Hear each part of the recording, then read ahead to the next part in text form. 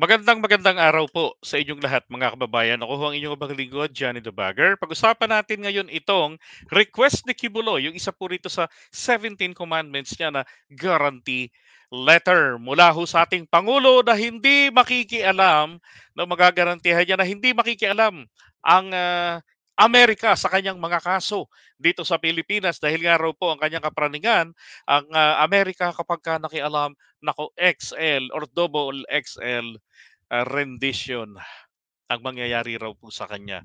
Takot na takot na mamatay sa Amerika. Uh, takot na takot daw siyang mapatay ng mga Amerikano. Pero pwede na po pala siyang patayin dito sa Pilipinas basta gagawan siya ng ribulto. Mga kababayan, uh, somehow naawa rin ako sa kanya sa totoo lang. Kasi I met him personally. Uh, nagsimula siya bilang mabuting tao na naglilingkod sa Panginoon, bilang isang born again pastor. Kaya lang ho, dahil po sa kahirapan at uh, nakaranas ng matin... Lum- kabataan po ni Kibuloy ay puro ho kahirapan. Uh, lumaki siya ng Pampanga, isa po siyang Mekeni, at talagang taal na Mekeni katulad ni uh, Brad Eli Soriano. Pareho sila mga Mekeni. Tapos dahil sa kahirapan ng buhay after World War II kanyang mga magulang ay nag uh, nag-migrate diyan sa Mindanao Republic sa Davao City at doon po nung malaki na siya pumunta ho siya ng Mindanao at doon ay talamak po ang pangangaral ng ebanghelyo ng ating Panginoong Yesus at ng Diyos. So doon po na-convert etong si Apollo Kibuloy. Now, ang uh, kaya naman po ako naawa sa kanya eh parang do sa huling message niya Um, kung mapansin niyo ha, na naiiyak na siya doon. Una sabi ko, eh, wala yan, di ba? Arte lang yan. Pero yung huli, eh nararamdaman ko na yung matinding takot niya. Naisipin mo ha, um, because of the consequences, you were forced uh, to ano to assign someone else na kasing edad pa yata ng tatay niya, matanda na, 'di ba? Hindi, hindi naman ganong malayo edad nila. O, si dating Pangulong Duterte, ginawa niyang um, administrador. Doon pa lang ho, questionable na eh. Bakit ka maglalagay ng administrador na matanda pa sa'yo? Dapat ang administrador mo ay eh yung mauunahan mo pa sa hukay. Kasi nga, meron siyang i-administer. Meron siyang i-manage na maiiwan mo rito. Pero bakit si dating Pangulong Duterte? Anyway, balikan natin yung mga kaso niya. Sabi niya sa huling video, eh, i-guarantee daw ng presidente Bukod sa ilibre siya sa five-star hotel at uh, sa board and lodging ng kanya at ng kanyang mga bodyguard at ng kanyang mga eroplano, bayad sa parking fee 20 pesos. 'Di ba? Eh sagot ng gobyerno. Pero sabi ng pangulo, eh nako, eto po oh. Pwede. Pero alam niyo ho, dapat po talagang kabahan si Kibuloy dito sa sagot ng Pangulo na to. Tinan nyo. Pwede nyo raw pong igarantiya na hindi makikialam yung US sa kanyang legal battle bago niya raw pong harapin yung kanyang mga kaso dito sa bansa? It, it, it seems to me a little bit uh, cellphone, uh, tailwagging the road. You know, na siya magbibigay ng kondisyon sa gobyerno doon sa kaso niya, akusado siya sa warrant of arrest.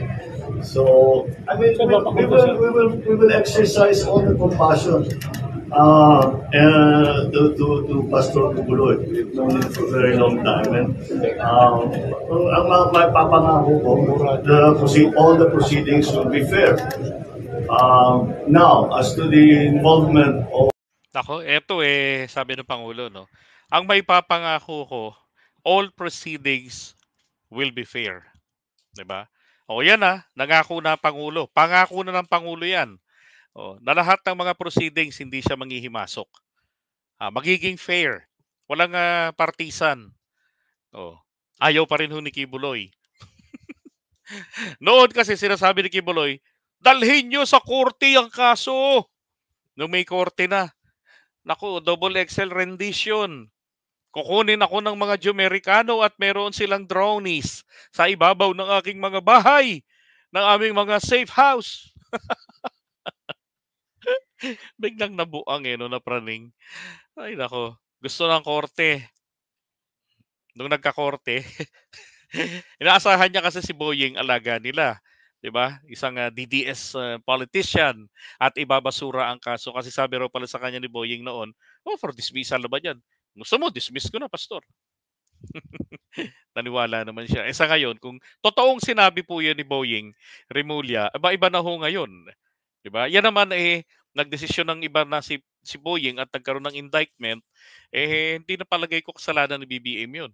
Kasalanan na yan ni Boying kung balentungin siya na Nung kay Duterte siya, dismissible yung apila nung nila Amanda.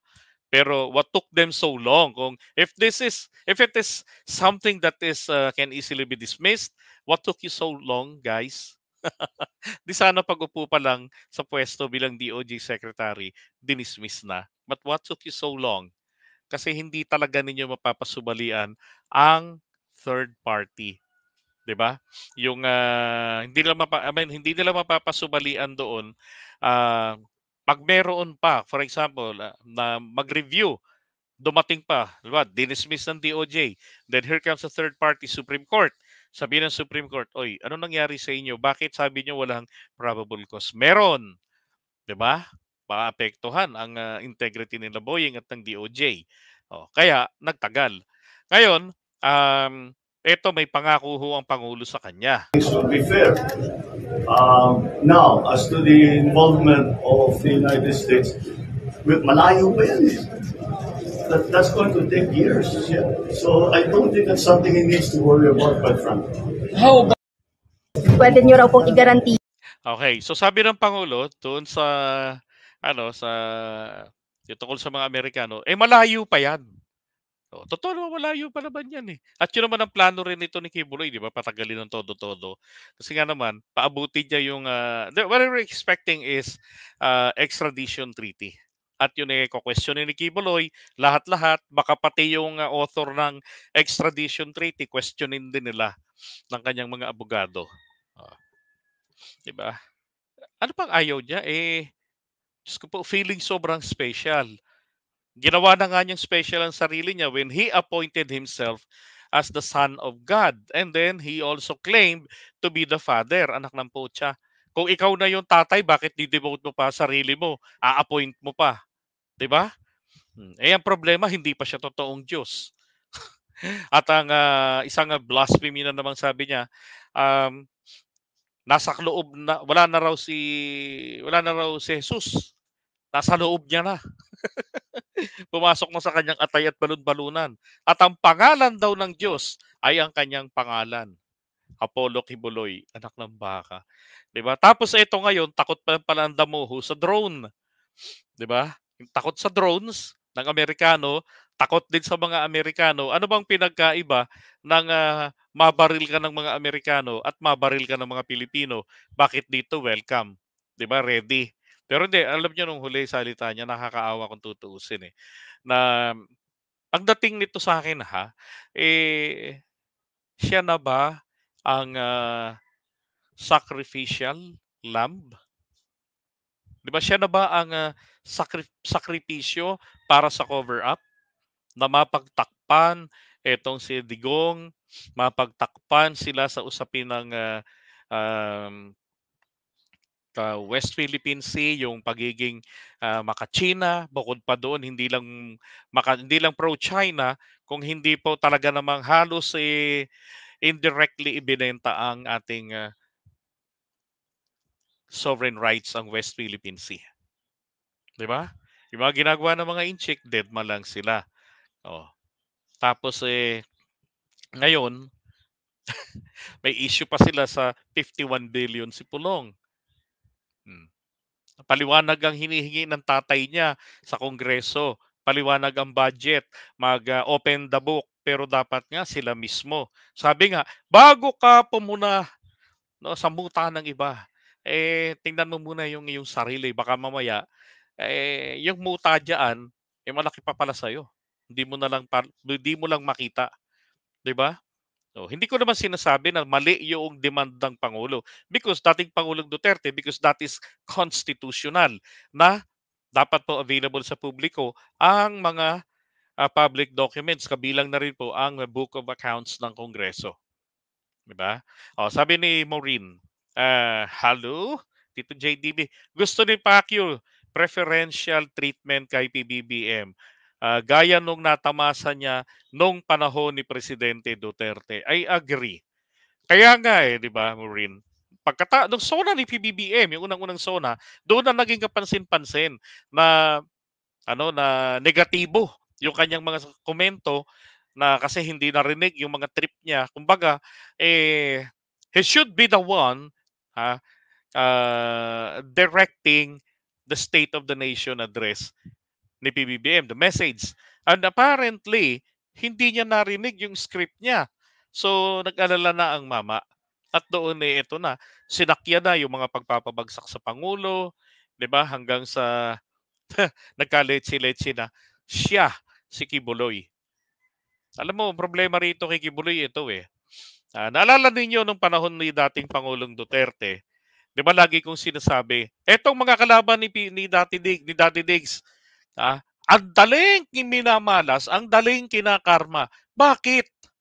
Bakit po madaling minamalas itong mga kalaban ni dating Pangulong Duterte? Eh nakalagay po kasi sa Biblia, igalang nyo at respetuhin nyo, 'di ba? Ang pamahalaan o ang mga pinuno sapagkat sila ay mga itinalaga ng Diyos. Sino ba nagboto sa kanila? Taong bayan. 'Di ba? Yun ang paraan ng Diyos ng pagtatalaga ng pag-appoint sa kanila. Kaya lang hindi nila nauunawaan ito dahil nga sa kabuktutan ng kanilang mga saloobin. So lumaki lang ang ulo nila. Ngayon, pagka umaatake sila, kinakarma. And that is the same shit that is happening to Apollo Kibuloy. Bilang lingkod ng Diyos, tinalikuran niya yon at uh, nagpakataong lupa, ayun. Di para siya tuloy ngayon ay kinakabayuhan at tinahabol ng isang katerbang mga engkanto patungo sa impyerno. Di ba? Eh, bastos. Oh, isang pinakamatinding pambabastos ni Kibuloy ay yung ipadala niya ang kanyang mga kending-kending girls at yung mga alagad niya sa SMNI, pinadala diyan sa Liwasang Bonifacio. Anong ginawa nila doon sa Evil Rally? 'Di ba? Oh, at yung kanyang uh, pet na si dating Pangulong Duterte, nagpunta rin doon. Nilangaw. Kaya hindi nakalusob ng Malacanang. Hmm. At ngayon, may maisog-maisog na naman sila ah, to get sim- people's sympathy. Abay, taong bayan, mga kababayan, katulad ko, ah, huwag ho kayong magpapauto diyan sa mga nag mga nag-i-evil rally. Nasubukan na po natin sila. Wala namang masama na makita natin ang isang tao na dating minura ang Diyos. Wala namang masama na makita natin ang uh, dating nagnanakaw, ang dating mamamatay tao na nagbagong buhay. 'Di ba? at uh, nag invite na sumama kayo sa aming prayer rally. Pero ang pinakamasama po rito ay kung makikita naman natin na itong mga walang yan to, eh hindi pala nagbago. Mura rito, mura doon, puto maya, puto bongbong ang mga damo, Damocles na to. Hmm. 'Di ba? At yun naman yung ginagawa nila. Hmm. Biglang, biglang uh, ang ibabanat eh punta kayo ng ano, ng uh, prayer rally lang hiya. Pagdating doon, Ah, pati taong mga Pilipino mumurahin. Ba sabihin, no, ang pinag-uusapan ah, ay ang mga Pilipino, paputang inang uh, That was January 28. Di ba? May presidente tayong bangag noon, bangag pa rin ngayon. Hmm, eh, sino bang aminadong nagmamariwana? At uh, nagpi-fentanyl, hindi ho ba? Tama, mga ano, mga sumisimpatya kay Kibuloy. Maawa kayo sa mga biktima niya. 'Di ba? Hindi lang sa kanya. Maawa kay Kibuloy, maawa rin kayo sa mga nagrereklamo sapagkat yung mga 'yan, hindi nila hindi nila ibubuyang-yang ang kanilang kahihiyan. Alam niyo sa korte, yung kwento ni Amanda kung paano siya ginahasa ni Kibuloy, paulit-ulit niyang ikukwento sa korte yan. At paulit-ulit siyang iinsultuhin dyan ng abogado ni Kibuloy. Eh kung ikaw normal na babae at wala naman talagang ginawang ganun sa'yo, uh, kahit na binayaran ka, palagay ko magdadalawang isip ka na gawin yan eh. Di ba? na ikukuwento mo ron, tapos bigla kang bumalentong ng kwento, napahiya ka na. Ay nako. Kaya sorry for Kibuloy, talaga pong dapat siyang matakot sa naging reply ng Pangulo. 'Di ba? Payo rin naman ni Bato de la Rosa 'yan eh. Wala na tayong choice kundi maipayo na lang natin kay pastor. Ano, harapin mo mga kaso mo. 'Di ba? Wala na talaga. Yun na lang, harapin niya ang kanyang mga kaso. No. At wag nang ah, magpakapraning pa. At kung ikaw ang ah, sacrificial lamb na ng iyong ah, kaibigan, okay lang 'yan. At least sabi mo nga eh magiging martir. Malay mo, Kibuloy, ipagpatayo ka ni dating Pangulong Duterte at ng mga DBS ng isang bantayog. 'Di ba? Pero kay digong na ang ari-arian ng iyong pinaghirapan. Wag lang siyang maunang ah, lumisan sa iyo rito sa planet Earth. Okay, ah, iwan na po muna natin ito. Kawawa naman si Kibuloy.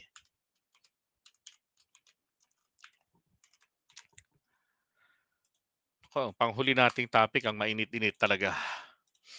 Okay, sabi rito, buong mundo ang makakaalam na siya, ang nakakaalam o makakaalam na siya ay bisang bulaang propeta. 'Di ba? Tama. Gusto nila prayer rally, punta sila sa church. Tama.